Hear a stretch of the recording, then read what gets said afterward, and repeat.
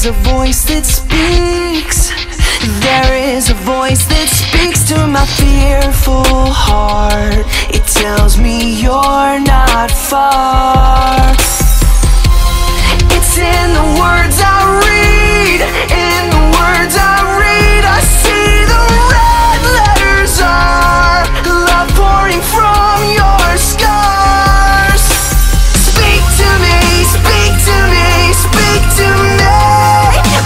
hear you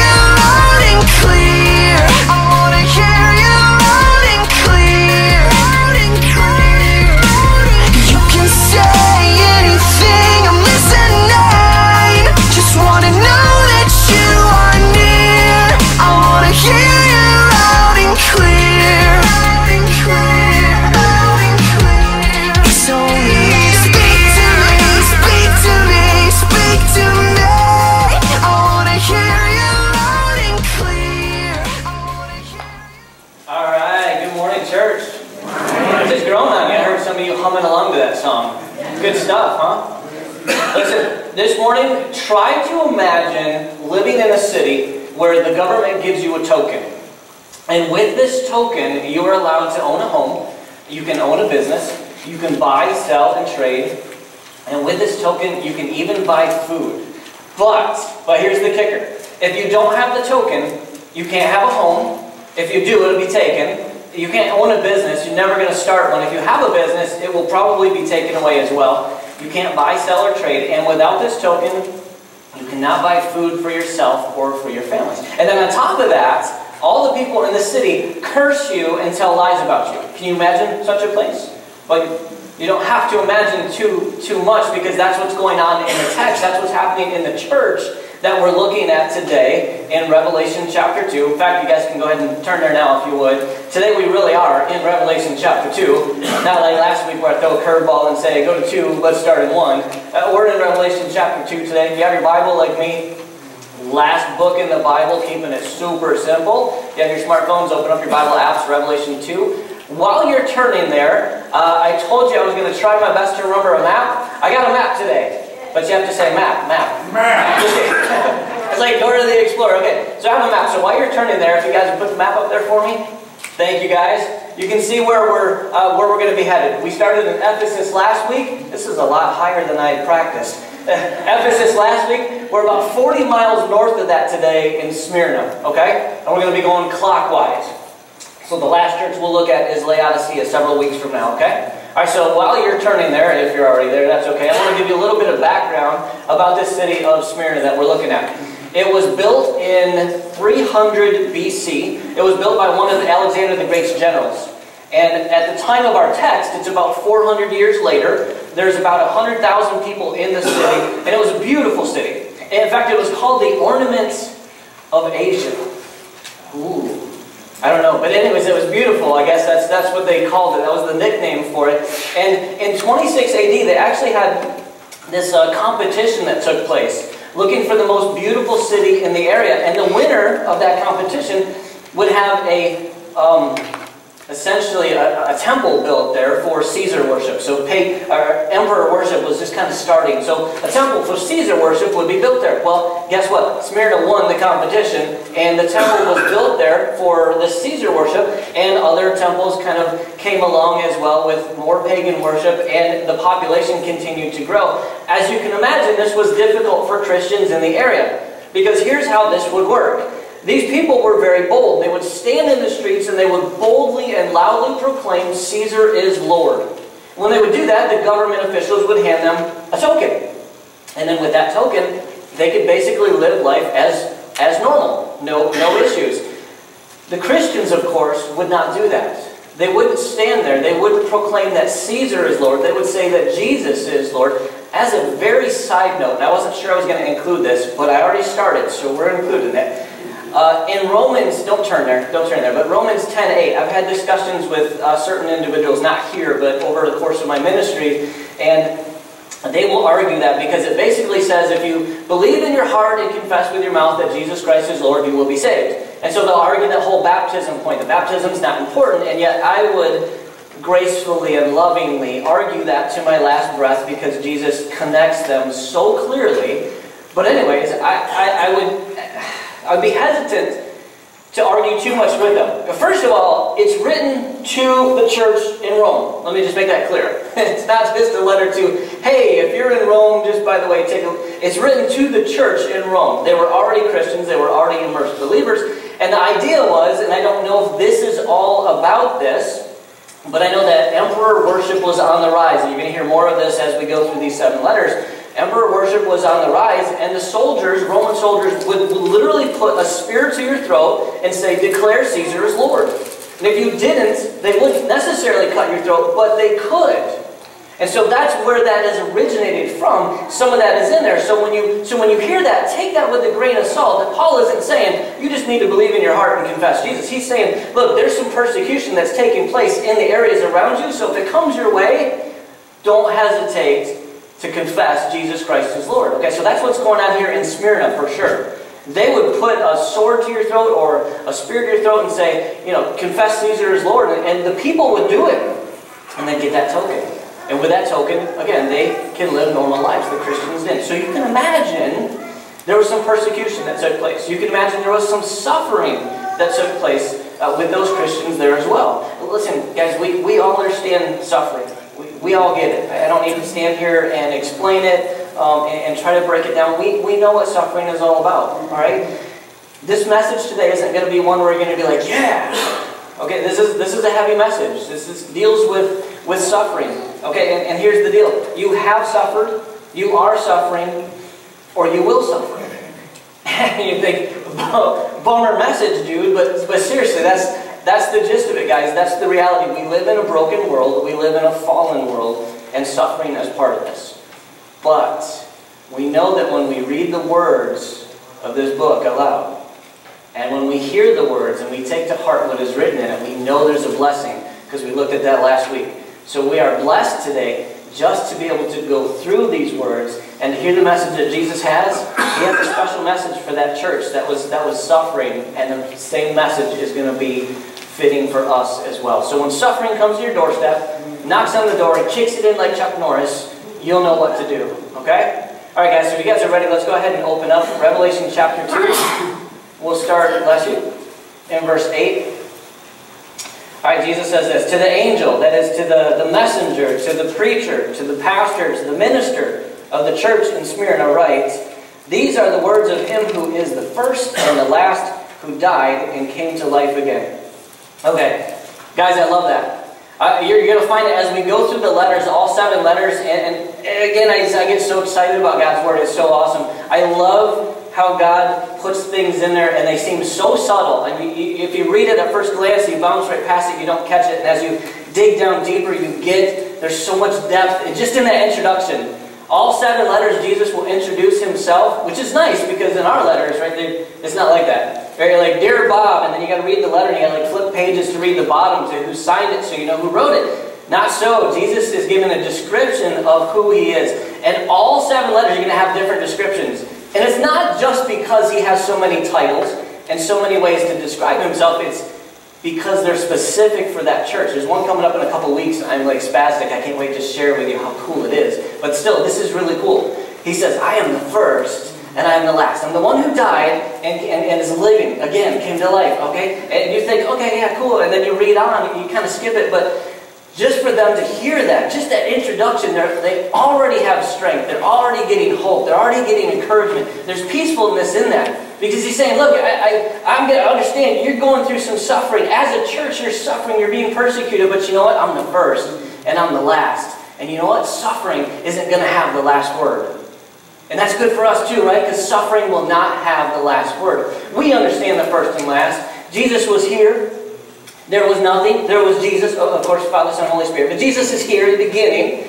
And there's nothing, and then creation begins, and he takes part in creation, and everything that we know and things that we don't even know, which is super epic, have been created. And then boom, history starts. And it's set in motion. And history is running its course, and it's still running its course. There's a day when it's going to stop. And history will be all done, everything is over, and Jesus will remain. He's saying, you're, not, you're going to suffer, but you're not going to have the last word. Suffering won't have the last word. I will have the last word. So that, that's good news for them. And then and, and it goes on. Because listen, I get it. Some of you guys, for me to stand here right now and tell you that I understand all the ins and outs of suffering, that I, that I understand all the mysteries of God in regards to suffering, it wouldn't be fair to say because I don't. It's just, I just, I don't. And we, we ask why, right? How many of you guys have asked why going through suffering? Honestly, yes. Me too. I'm going to help you answer the why today by the time we're done, okay? I don't know all the answers, but, but I, I, I can help you with the why, okay? So listen, here's the deal. If you're here this morning and you are suffering, why don't you just, just take a moment, right? Just take a moment, close your eyes, and I just want you to picture Jesus with his, with his arms stretched out on the cross, nailed to the cross. I want you to have that image. Now, I know he's not on the cross, okay? I want you to get that image for just a moment because, guys, he suffered. He suffered and he died. He gets it. He understands what you're going through. But he says, I'm alive. And so that's the really great news. It's not just good news, it's great news. It's the best news ever, right? Because he's alive. We don't serve a dead God. We don't pray to a dead God. We pray to and serve a living God. And so he died. He suffered and died. So he understands where you're at. So take some encouragement in that. Okay? Just take some hope and some peacefulness in that. All right? And again, this is just the introduction. I could probably go another 10 minutes on this. It's, this is how awesome this is. And Jesus just says, I want you to know, because the message will continue with, uh, with that uh, suffering and the persecution and things to come. But he says, just in my intro, I want you to understand who I am. It, who I am, and I'm writing to you. So guys, so that's the intro. And then he, he jumps in from there. In verse 9, he actually begins the body of the message here. And he says this, I know your afflictions and your poverty, yet you are rich. I know about the slander of those who say they are Jews and they are not, but are the synagogue of Satan. Oh, okay, so, so here's what we know about these, uh, these guys so far. The, the, church, the Christians there in Smyrna. Uh, they're, they're undergoing great persecution. They, they could go to their job, and this is serious. Their, their boss could say, uh, confess Caesar. No, I'm a Christian. Well, you don't have a job. Beat it. They could say that. They could go home and their landlord could say, confess Caesar as Lord. No, I'm, I'm not going to do that. I'm a Christian. Well, then move out because you don't have a home. We already know that they couldn't buy food without that token, so, so things are difficult. So in a real sense, there's some homelessness. There's real poverty, as Jesus says. He's not just saying you're poor in spirit. Uh, they could have been that as well uh, very easily, but he's saying, your poverty, I see it, I get it, I understand. I understand, really I do, but you're rich. And you might think that's really weird for him to say that. And in fact, the Greek word that he uses signifies someone who has authority with their wealth. And you might think that's really odd, because that does sound kind of odd. But guys, listen, they were rich in God's sight. They stored up for themselves treasures in heaven. You see, we hear that phrase, that's a churchy phrase, treasure in heaven stored up. Well, what does that even mean? Well, there, there's a lot to that. There, there's a whole bunch.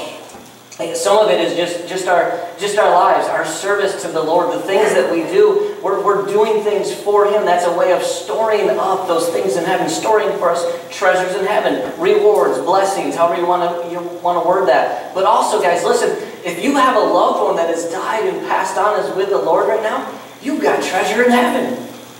Isn't that cool? Some of you do. Steve, I know you do. We talked about this in Sunday school class three, four weeks ago. We talked about it in men's group as well. Tough week for you last week. I told you I was praying for you. I was. Steve's got treasure stored up in heaven. Craig, I don't see you. He's here somewhere. Hey, Craig. Wait. Oh, there you are. Craig. Yes, treasure stored up in heaven, my friend. That's fresh. That still hurts. There's suffering in that. It's bittersweet. It's sweet because our loved ones are, are at peace. No more pain, no more sighing, no more crying, no more dying. But it's bitter for us because still here. And it's tough and we're without them. So we get it. That's our treasure in heaven. So there's suffering that we have here. There's, there's pain that we go through. There are difficult moments. Jesus says, guys, I know. I see it. I see what's going on. I see the affliction. I see it. I get the struggle. I totally understand one billion percent. And then he says this to them. He's building them up. He says this in verse 10. Do not be afraid of what you are about to suffer. You gotta be thinking, wait, wait a sec, time out. Can we go back to verse 8? I like verse 8. Read the letter over, start in the beginning. I like the intro. I, I like how I, had some peace and some strength and I got some encouragement from that part. You're telling me now there's more? Come on, I mean, we've been suffering. We're suffering now. And you're telling us there's more suffering and don't be afraid of what's going to happen to us. Not exactly a pep talk that you wanted to hear, right? But he's not done.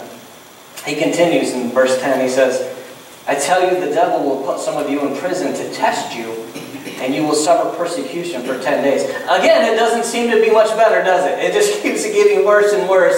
Uh, now, remember, when you, when you see a number in Revelation, don't count it, weigh it. Okay? Just like the seven spirits. It wasn't seven spirits, if seven is a perfect number, it's the Holy Spirit. Same thing with this. Ten is a large number. There were two options basically that you were going to get uh, you were going to face if you were thrown into prison in this time, in this first century, okay? Um, one was a very short stay, not 10 days, very short stay. They would take you, uh, they, as the, the Roman guards, soldiers, they would take you off the streets, throw you in prison, beat you to within an inch of your life, and then throw you back out in the streets. Sometimes it was overnight if they had a little bit of fun, maybe it was a day, but, uh, but honestly it was a very quick turnaround. They beat you, they chuck you back out in the street. Didn't matter if it was 2 or 3 a.m., they didn't care, they just throw you back out. The other option, option as if you get to choose, uh, the other option or scenario was they take you, they drag you off the streets, they put you in prison, they beat you to within an inch of your life again, but then you stay there. You'll never leave. I think that's what Jesus is saying because it's 10, it's a, it's a large number. He's saying some of you, you're suffering now, but some of you are going to be thrown into prison. You're going to be beaten. You're going to experience even more pain and suffering, and you're never getting out. You're going to die there. So now you're thinking, wow, bummer message. Bummer for sure. But Jesus isn't done yet. Here's the message he has for them. Continuing in verse 10, he says, Be faithful. I, I love that. Be faithful. I see what you've gone through. I know where you're at, what you're going through. There's more ahead of you. Be faithful. Be faithful. And he continues and says, Be faithful, even to the point of death, and I will give you life as your victor's crown. Guys, we, we say things we don't mean. We say things all the time. Not, not that we're lying.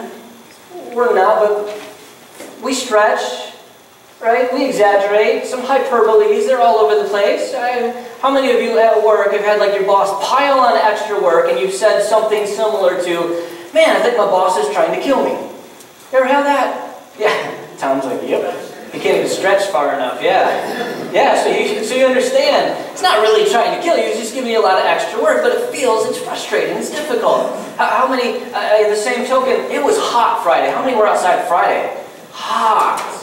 Yeah, like hot. You gotta say it that way, it was so bad. I went outside working on sermon, I stood under the tree over there. I lost like seven pounds, just sweating out.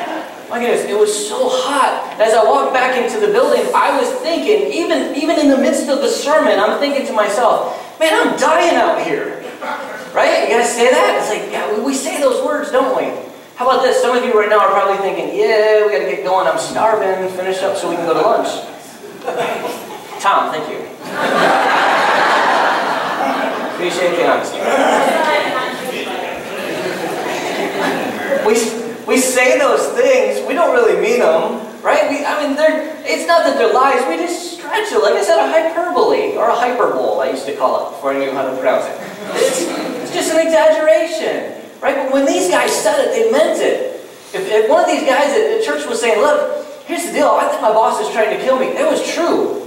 That was, that was the real deal. There was no pretend about that. It wasn't fake. If somebody said, I'm dying, they were dying.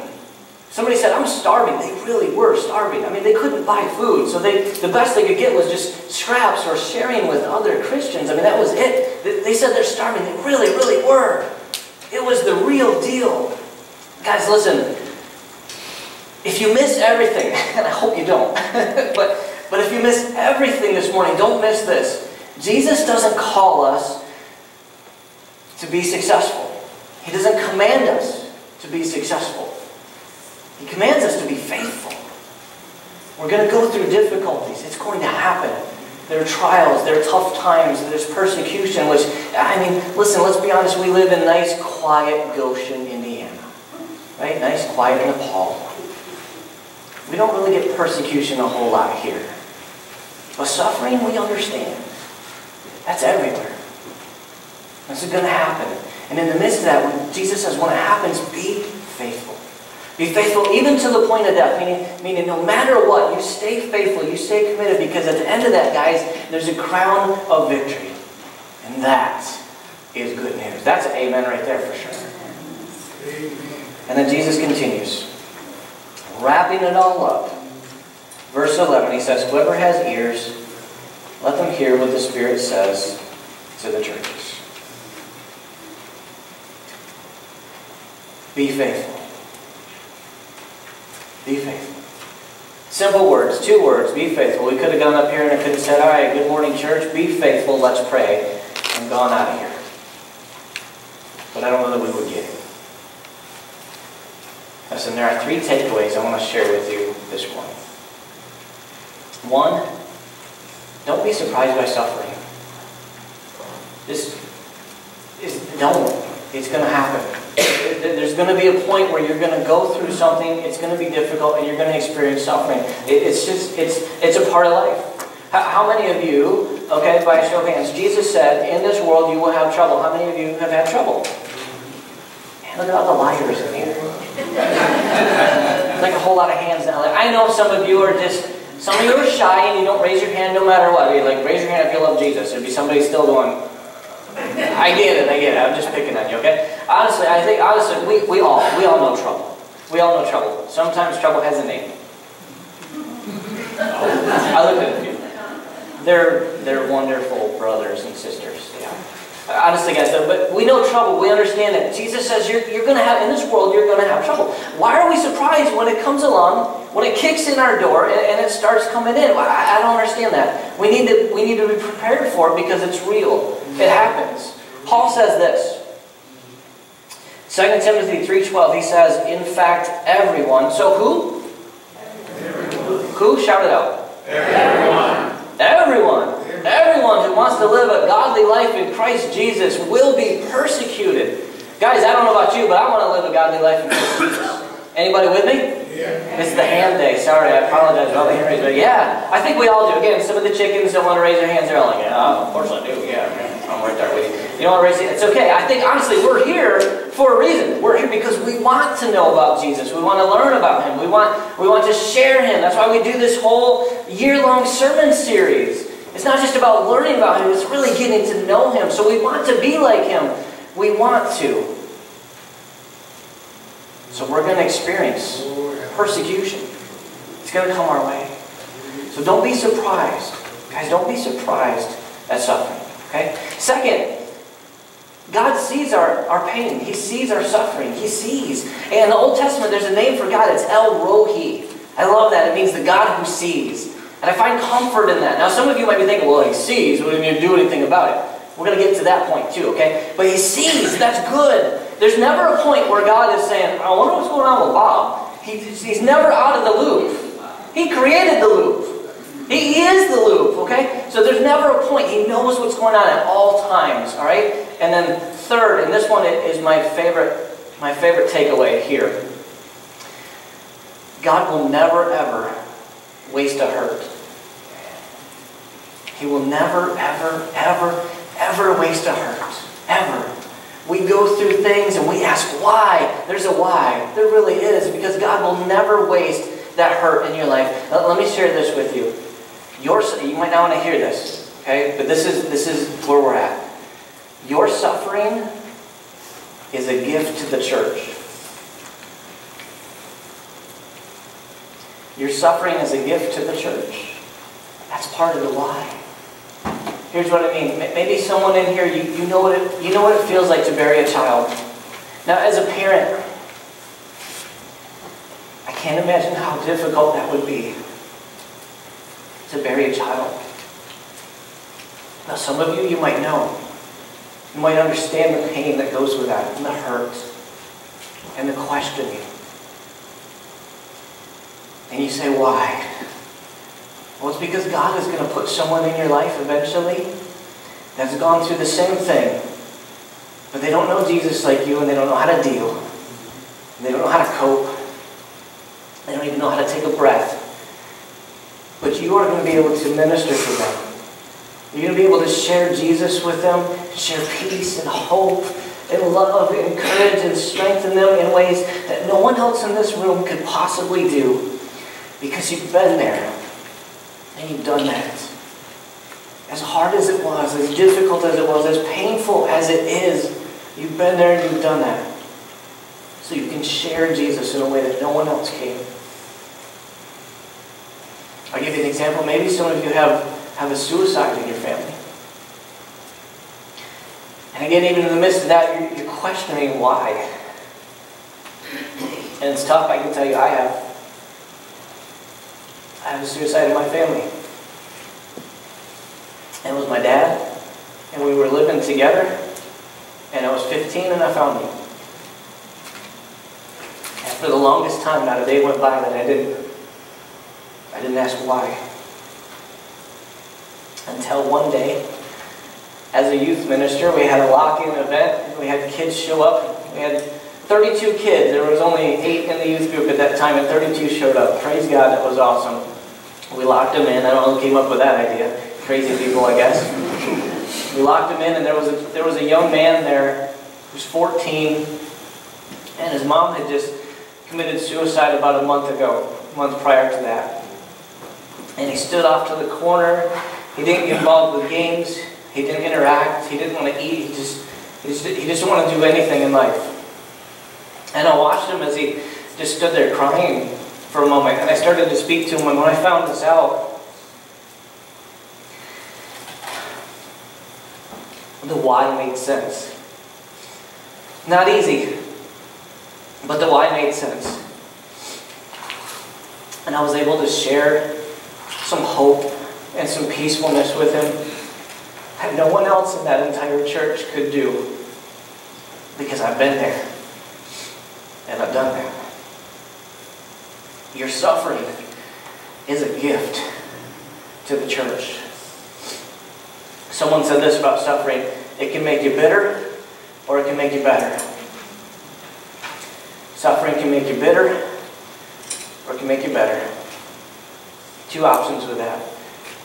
You can get all crabby, you can shout why, you can cry about it, which, which you have reason to cry, I'm sure, over the whatever that situation is, but you can shake your fist at God and curse Him and you can reject Him and you can walk away from Him and you can hold that bitterness in your heart your whole life, harboring that towards God because He took someone from you. But you know what? That someone was His. His anyways.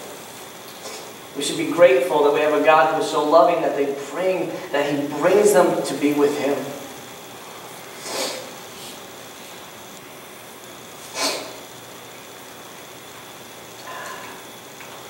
So you can do that, you can be bitter, or you can be better. Knowing that your suffering is a gift for others. It's for you, and it's for others. Guys, here's the deal with suffering. We're all going to have it. We have a job today, we don't tomorrow. Our family loves us today, they hate us tomorrow. We have friends today, they walk away tomorrow health today, gone tomorrow. It's just, we live in a, in a fallen world, in a broken world. These things will happen. And along the way, we're going to have moments where we're going to suffer. And in the midst of that, Jesus says, be faithful. Be faithful. Two simple words. So difficult to, to live out, but he says, be faithful. Because, guys, he is the first. He's the last. You see, that's why we go through this entire study. We don't want to just, again, learn about Jesus. We want to really know him. We, we want to we want to know Him, we want to love Him, we want to serve Him, we want to share Him, we want to exemplify Him. And so that we get to the end when everything is over and everything is done and gone, but Jesus is there because He is the last. And we stand before Him and He says, Well done, good and faithful servants. And we get that crown of victory. That's what it's all about. Because He's the last, we have that hope to look forward to. Guys, he's also the first. And so if you're here this morning and you don't know Jesus as Lord, as Savior, if you don't know Him the way that we're talking about Him this morning, we want to help you get that right. And, and in just a moment, what we're going to do is really simple. We're going to stand together. We're going to sing a song together.